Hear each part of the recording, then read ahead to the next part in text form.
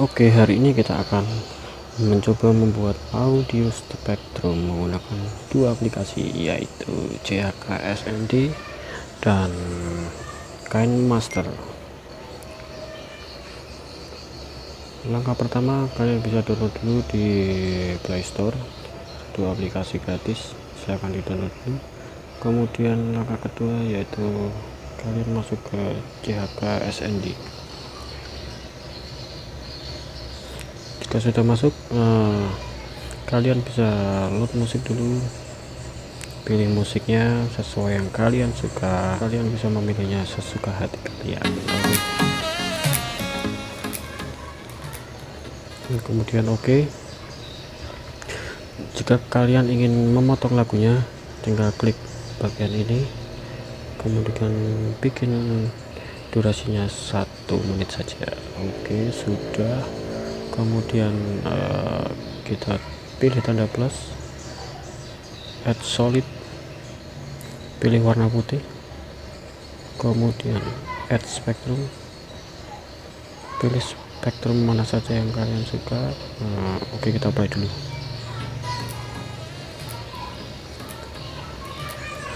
Ini belum keluar uh, spektrumnya karena warnanya putih jadi dia tidak kelihatan kalian harus uh, mengganti warnanya dengan menu color. Oke kita ganti warnanya menjadi warna hitam kita cek dulu.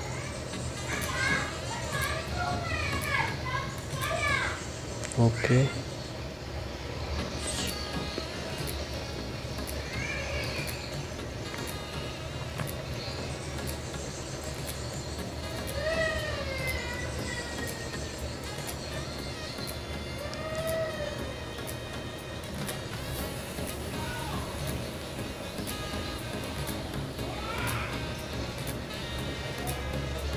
di persetting kalian bisa setting sesuka hati kalian sendiri sesuai keinginan kalian sendiri.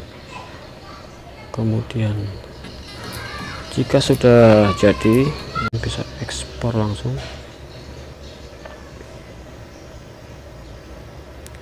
Oh, oke kita tunggu sampai beberapa saat sampai 100% oke uh, ketika sudah selesai ekspor uh, kalian bisa masuk ke menu kain master oke okay. kemudian pilih tanda plus aspek ratio kalian bisa memilih sendiri antara 16 banding 9 9 banding 16 atau 1 banding 1 oke okay, kita pilih 1 banding 1 saja kemudian kita pilih media oke okay. ini bukan video ya ya ini hanya gambar dia bisa bergerak gini karena uh, settingannya kita belum berubah. Untuk merubahnya kita pilih kita klik gambarnya dulu kemudian pilih crop kemudian kita pilih garis dua ini kemudian kita uh, atur gambarnya sesuai dengan apa yang kamu suka. Oke. Okay. oke okay, cukup segini. Ya checklist panjangkan videonya sampai durasi satu menit. Kemudian pilih spektrum yang sudah kalian buat tadi. Oke. Nah, untuk membuatnya menjadi di lokasi di bawah gambar ini kalian cukup klik spektrumnya kemudian klik titik tiga ini kemudian duplikasi sebagai lapisan. Oke sudah jadi. Kemudian untuk awal tadi kita hapus saja. Nah sekarang kita sudah jadi. Kemudian untuk membuat di transparan kita klik saja seperti ini. Kita atur ukurannya. Nah, kemudian kita masuk ke menu penyampur. Kemudian memperterang. Nah, menggelapkan oke kita tes dulu.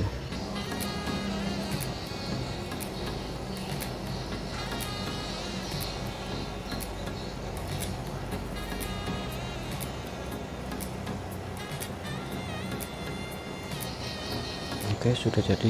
Kita coba uh, durasinya kita panjangkan lagi sesuai dengan musiknya. Oke seperti ini. Kemudian untuk menambahkan uh, teks kita tambahkan teks seperti ini. Kemudian kita pilih my music.